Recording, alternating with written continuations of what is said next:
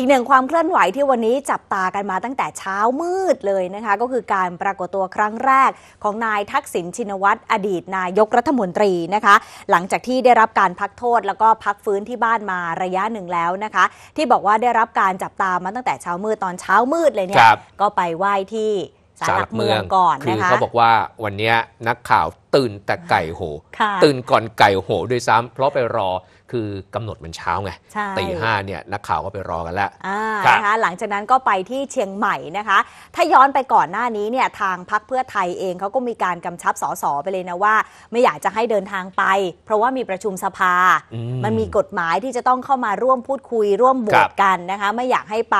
วันนี้เนี่ยสิ่งที่ได้เป็นภาพปรากฏออกมาก็คือจะมีร้อยเอกธรรมนัฐพรหมเผ่าอืม รัฐมนตรีว่าการกระทรวงเกษตรและสหกรณ์ที่เดินทางไปรับคุณทักษิณด้วยนะคะ ถ้าไปถามทางประธานวิปรัฐบาลมองอย่างไรครับคือจริง ๆ แล้วต้องบอกว่าร้อยเอกธรรมนัฐไม่ใช่เพื่อไทยนะค่ะที่เขาห้ามเพื่อไทยใช่แต่เนี่ยร้อยเอกธรรมนัฐอยู่พลังประชารัฐไงแต่ว่าเป็นสสในสภาใช่ไหมอ่าอ่าถ้ามองในมุมนั้นอ่ามันก็ใช่ คือก็เอาเป็นว่าหลาย ๆ คนก็ถามว่าเอ๊ะในส่วนของหลังจากที่ห้ามแล้วเนี่ยคือคุณวิสุทธิ์ชัยนรุนประธานค่ะวิปรัฐบาลบอกเลยว่า สสเพื่อไทยต้องอยู่นะ แล้วก็สสพักร่วมด้วยครับเออออ่าแต่ทีเนี้ยหลายคนก็มองว่าอย่างที่เราเห็นทั้งร้อยเอกธรรมนัฐหรือว่าอีกหลายคนเนี่ยที่ไปเนี่ยก็บอกว่ามันเป็นเรื่องปกติเหมือนกันนะ บางคนอาจจะรู้จักเคยที่จะทำงานด้วยกันอะไรอย่างเงี้ยค่ะ ก็ไปต้อนรับนะ เป็นเรื่องธรรมดา ใช่ แต่ว่าถ้าถามทางประธานวิปรัฐบาลเองครับมองยังไงบอกว่าเอาก็ขอไม่ก้าวล่วงหรอกนะคะอืมเดี๋ยวไปดูภาพรวมเพราะว่าวันนี้นายกรัฐมนตรีก็ให้สัมภาษณ์เรื่องนี้เช่นเดียวกันนะคะ หลังจากที่เมื่อสักครู่ให้สัมภาษณ์ถึงภาพรวมภารกิจในการเดินทางไป นี่ก็เป็นอีกหนึ่งเรื่องที่นายกรัฐมนตรีตอบคำถามสื่อมวลชนนะคะ ทางคุณเศรษฐาทวีสินบอกว่าการเดินทางไปเชียงใหม่ของคุณทักษิณชินวัตรและมีประชาชนไปต้อนรับเนี่ยก็ถือว่าเป็นเรื่องธรรมดา เพราะว่าคุณทักษิณก็เคยเป็นนายกรัฐมนตรี และไม่ได้กลับบ้านมา17ปีแล้วนะคะ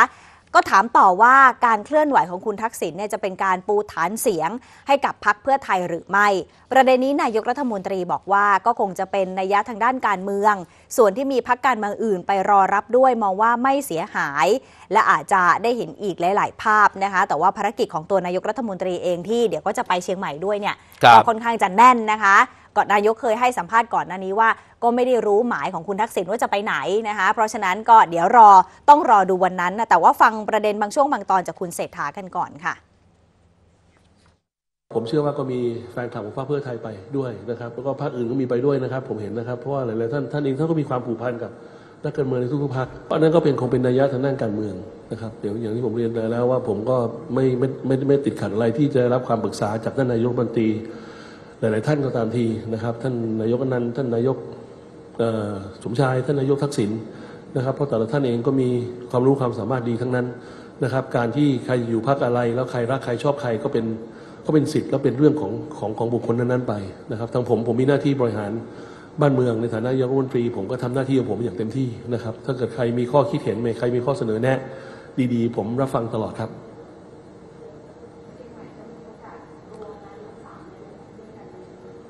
ก็คิดว่าคงมีโอกาสมั้งครับ แต่ว่ายังก็ยังไม่นัดหมายอะไร เพราะว่าผมเองภารกิจก็ยังแน่นเอียดเลยพรุ่งนี้ผมก็ทั้งวันเต็มที่แล้วก็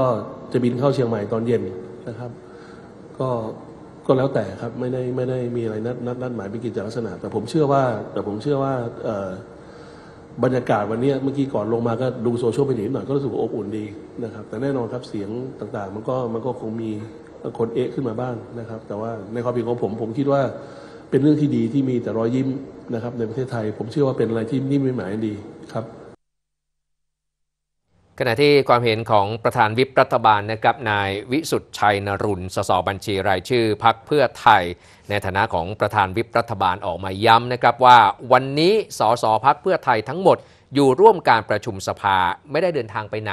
เพราะว่าสสมีหน้าที่รับผิดชอบอยู่ที่สภา ส่วนที่ปรากฏภาพของร้อยเอกธรรมนัฐพรมเผ่ารัฐมนตรีว่าการกระทรวงเกษตรและสหกรณ์เดินทางไปต้อนรับอดีตนายกทักษิณที่เชียงใหม่นั้น นายวิสุทธ์ก็บอกนะครับว่าไม่ทราบและไม่รู้เรื่อง เพราะร้อยเอกธรรมนัฐเนี่ยเป็นรัฐมนตรี อาจจะไม่จำเป็นต้องร่วมประชุมสภาถ้าไม่มีเรื่องที่เกี่ยวข้องสสพักเพื่อไทยทั้งหมดเนี่ย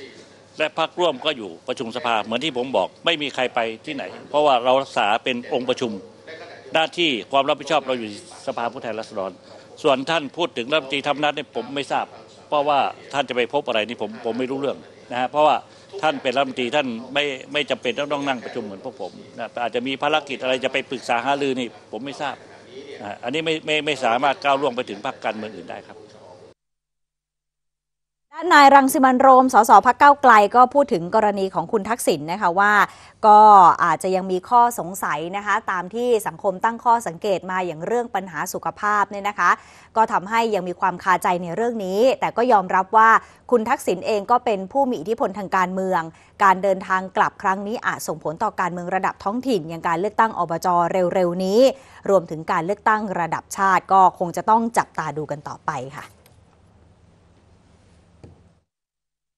ส่วนในเรื่องของผลลัพธ์ทางการเมืองต่างๆ ก็ยอมรับครับว่าคุณทักษิณเนี่ยด้วยด้วยความที่เป็นคุณทักษิณเราก็ต้องยอมรับว่าคุณทักษิณมีอิทธิพลนะครับต่อต่อการเมืองไทยอย่างแน่นอน เรื่องนี้ก็เป็นความจริงที่ปฏิเสธไม่ได้นะครับเราอภิปรายในสภาถึงคุณทักษิณกับอภิปรายในสภาถึงคุณเศรษฐา เราก็จะเห็นว่าปฏิกิริยาของคนในเพื่อไทยเนี่ยนะครับกับคุณทักษิณกับคนกับคุณเศรษฐาเนี่ยต่างกันคนละเรื่อง มันก็ต้องยอมรับว่าคุณทักษิณก็คงจะต้องมีบทบาท อย่างสำคัญ ส่วนว่าจะมีบทบาทไปถึงอบจนะครับถึงจะมีบทบาทไปถึงการเลือกตั้งอื่น ๆ ต่อไม่เนี่ยหรือไม่เนี่ยนะครับผมก็คิดว่าเป็นสิ่งที่คงต้องดูว่าจะได้มีการวาง strategy ต่างๆ หรือยุทธศาสตร์ต่างๆ ในทางการเมืองมากน้อยแค่ไหนนะครับหรือสุดท้ายอาจจะเป็นแค่อยากกลับบ้านก็ได้